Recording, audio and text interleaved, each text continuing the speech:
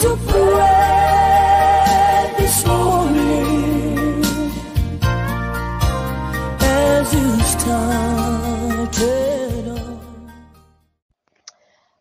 Almighty God, we honor you today. We worship you. We give you thanks, Lord, that this month is family month in which the Jamaica Baptist Women's Federation seek to pray, continue to pray as we seek the protection of our children, oh God, who are in homes, oh God, abandoned by their parents.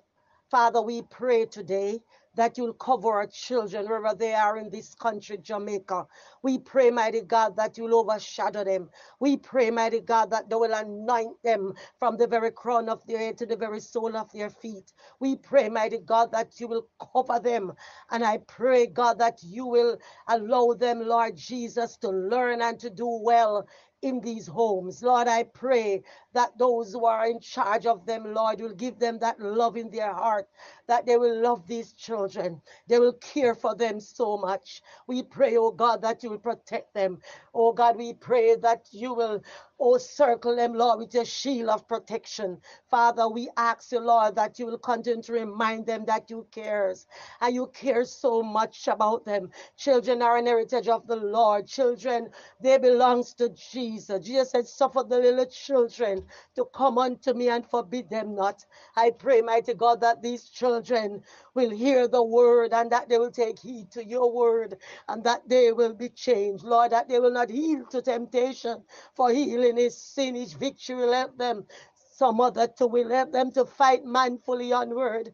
Dark passion subdue. Help them to look to you and you will see them through. Father, we all ask you to order their steps in your word, Lord. I pray that they will go to a Bible believing church uh, to hear your word, Lord, and to say yes to you and no to the devil. That out of these homes where they are situated, mighty God, rise up doctor, lawyer, teachers, mighty women, mighty men of valor that they will be warriors for you, mighty God, that there will be a army to pull down every stronghold in this country, in this nation, in the name of Jesus. I pray, God, that you stretch your hands across these homes, mighty God, and you will do a new thing, Lord God. You will supply all their needs according to your riches in glory. I pray, God, that you will comfort them, the God of all comfort, that you will comfort them because you said, Let not your heart be troubled, let not your heart be troubled, mighty God. I pray, God, that their parents, wherever they are at this time, that you, Lord, will put that love in their heart to visit their own child or children in these homes, uh, that you touch each parent, Almighty God, uh, that they will reach out to their children regardless of the situation, because you said that you're a God of love and you want them to love. As you said, we must love one another. So, Lord, we thank you that they were not aborted, but they were born. And so they were born for a purpose. They were created, mighty God, to do your work and to serve you, mighty God. So, Lord, we curfew our children in the name of Jesus. And we pray, God, that they will surrender to you. They will say, All to Jesus, uh, I surrender. Oh, Father God, I pray you may continue to bless our federation that as we spread our wings, oh God, an August body in this nation, oh God, children will be moved by the power of your Holy Spirit.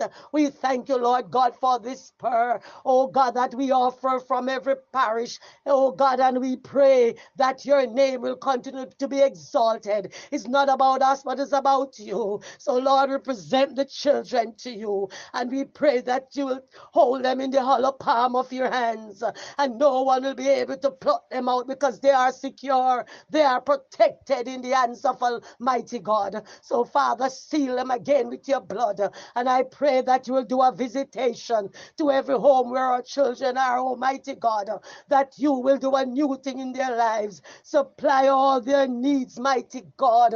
And we pray as we declare and we believe that you are going to do it. We say it's done in the name of the Father, in the name of the Son, oh, in the name of the Holy Spirit. And we give you glory for executive. We give you glory for this vision because prayer changes things.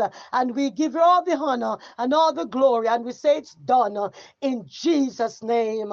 In Jesus' name. Uh, amen and amen.